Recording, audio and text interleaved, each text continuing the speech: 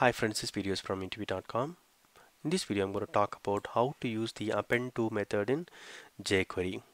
In jQuery, append to method inserts HTML elements at the end of the selected elements in the DOM tree.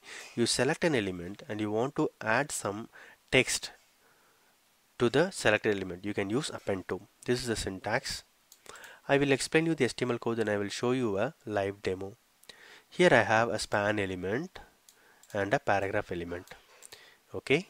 My now the scenario is at the end of the span element I want to add a text. At the end of the paragraph I want to add some text. How do I do it? I can use append to. Here here I have a text. I want to add this text to the span.